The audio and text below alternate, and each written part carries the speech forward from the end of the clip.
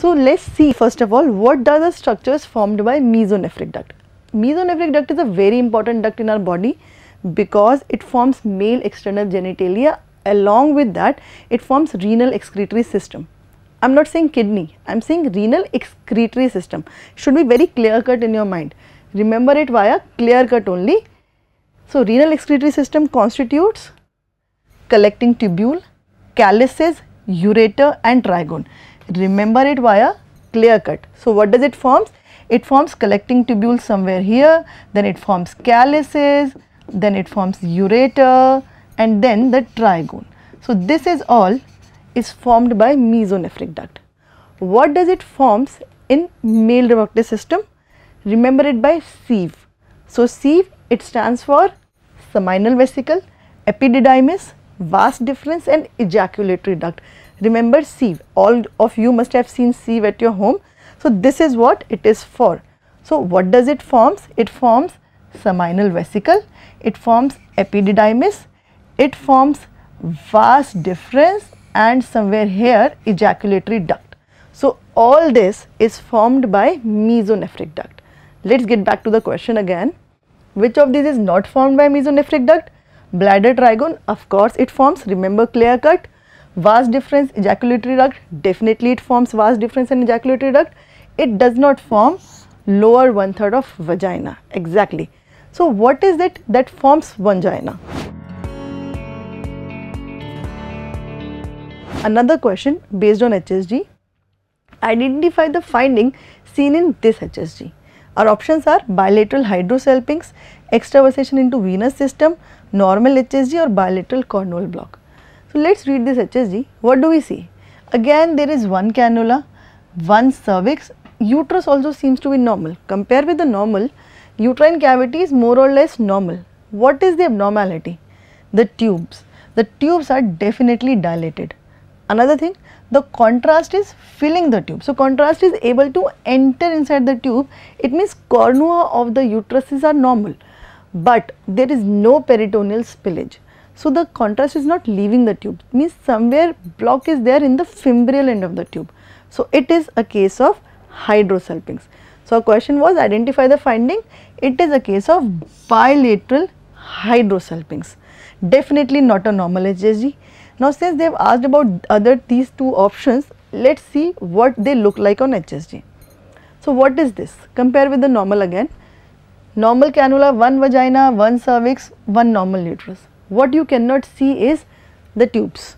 So, contrast has not even entered the tubes. It means the block is somewhere at the cornua. So, it is a picture of bilateral cornual block. Okay. Next is this HSG. Again compare with the normal.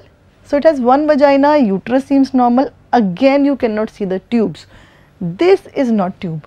Tube looks like a single thread like structure. This multiple lacy structure is not tube. Tubes you cannot see. Might be it is again a bilateral cornual block. Then what is this? This is venous extravasation. What is extravasation actually is? Extravasation is leakage of fluid out of the container.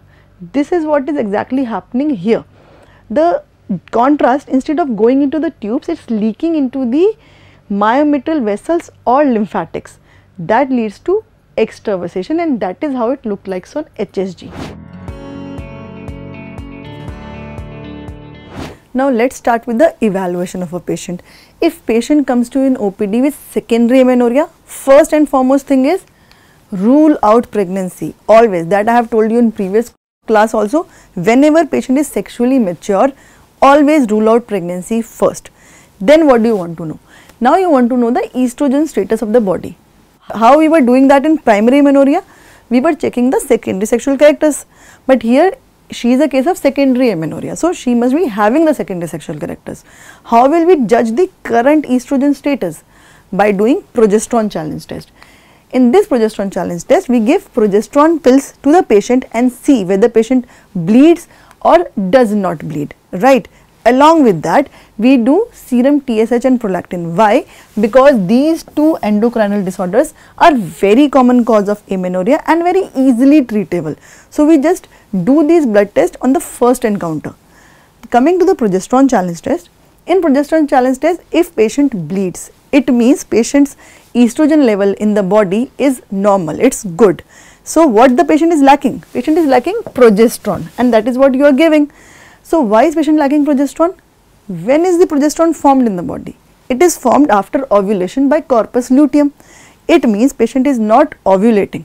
So, it is a case of anovulation. In the case of anovulation, we know the causes. We mainly we have to exclude three causes and that is PCOS, the most common cause, congenital adrenal hyperplasia and Cushing syndrome. Besides other causes, we have to evaluate for these causes most importantly. Then if patient does not bleed, it means patient lacks estrogen in the body. So, do one thing, give her estrogen. So, we have given her estrogen pill. Now, let us see whether she bleeds or not. If she does not bleed even now, it means there is no problem in the hormones. You have given estrogen, you have given progesterone, still she is not bleeding. It means the defect lies in the uterine lining now. It is a case of Asherman syndrome, right. So, if after giving estrogen patient starts bleeding, it means patient was lacking estrogen, right. So, it means gonads are not working properly. The cause could be central or cause could be in the ovary itself. How to differentiate? You already know by doing gonadotropin levels. By that we will know whether it is hypergonadotropic or hypogonadotropic, right. So, what the gonadotropins will tell us? You know this slide, right. If FSH-LH is high, it is a case of ovary failure and to further evaluate that you will do karyotype. If FSH-LH is low, it is a central cause either in hypothalamus or pituitary and for that you will do CT scan and MRI. in irregular shedding also called as Halban disease very important It has been asked in exam Halban disease is irregular shedding. So, what is happening? See the corpus luteum forms after ovulation. Who is the savior of this corpus luteum? It is LH. So, LH is the savior of corpus luteum. When after the luteal phase ends, once the luteal phase starts ending, the LH goes. As a result, corpus luteum starts become atretic. But what is happening in Halban disease is this LH persists. So, the main pathology of Halban disease is persistent LH which does not goes away. As a result, the corpus luteum also does not become atretic, it stays and it keeps on secreting progesterone.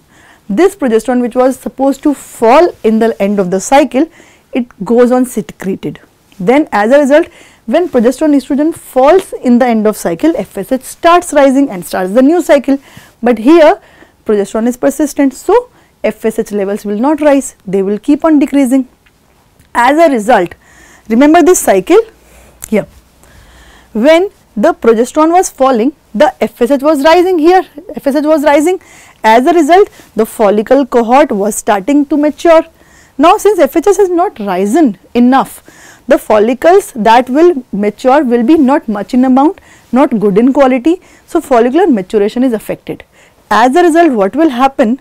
The endometrium which was formed by the estrogen released by follicles will not be a good endometrium because the follicles being recruited are not good are less estrogen is less the endometrium which starts forming here is a weak one right so when you do a histopathology here what you find so because of lack of estrogen what happens this kind of endometrium forms a wall without much bricks so, what happened? How the patient will present? Menses have stopped here, next cycle has started, but the next cycle wall is really weak one. So, patient will have spotting.